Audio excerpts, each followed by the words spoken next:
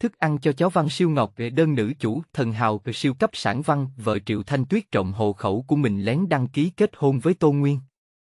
Vốn tưởng rằng phải thừa nhận nhiều mặt áp lực Tô Nguyên, ngoài ý muốn buộc định cho lão bà tiêu tiền liền có gấp 10 lần hệ thống lợi nhuận. Đinh, mang lão bà ăn xa hoa cơm tây, tiêu phí 5.000 nguyên, gấp 10 lần lợi nhuận. 50.000 nguyên, đã đến sổ sách thỉnh tra thu, đinh, cho lão bà mua Porsche một chiếc, tiêu phí 200 vạn nguyên, gấp 10 lần lợi nhuận. 20 triệu, đã đến sổ sách thỉnh tra thu, cũng kích phát thêm vào may mắn lợi nhuận. Ra pha một chiếc, từ đó về sau, Tô Nguyên liền trải qua cuộc sống mua sắm mua sắm cho vợ. Nhân vật chính Tô Nguyên, Triệu Thanh Tuyết, từ then chốt của tiểu thuyết.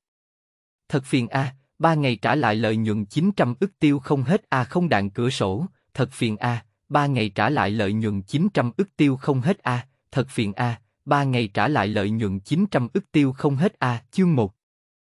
Mẹ vợ không đồng ý, lão bà trồng sổ hộ khẩu muốn cùng ta. Bạn đang nghe tại truyện chấm audio. Không lấy được tét từ nguồn Trung Quốc. Chương 2. Tiểu tỷ tỷ, bạn trai ngươi đối với ngươi thật tốt.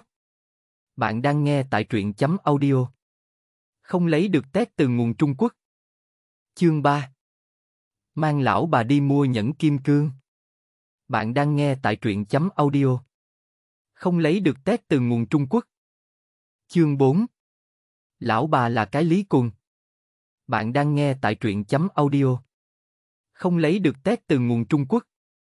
Chương 5. Giúp lão bà Thanh không mua sắm xe. Bạn đang nghe tại truyện chấm audio. Không lấy được tét từ nguồn Trung Quốc. Chương 6.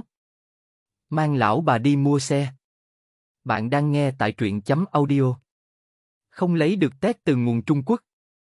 Chương 7. Lão công ngươi làm sao có thể mua được Porsche? Bạn đang nghe tại truyện chấm audio. Không lấy được tét từ nguồn Trung Quốc. Chương 8. Vợ chồng chim liền cánh, ân ái hai không nghi ngờ. Bạn đang nghe tại truyện chấm audio. Không lấy được tét từ nguồn Trung Quốc. Chương 9. Từ đầu đến cuối muốn qua mẹ vợ một cửa ải kia. Bạn đang nghe tại truyện chấm audio. Không lấy được tét từ nguồn Trung Quốc. Chương 10. Chứng đều nhận, chẳng lẽ còn có thể ly hôn phải không? Bạn đang nghe tại truyện chấm audio. Không lấy được tét từ nguồn Trung Quốc.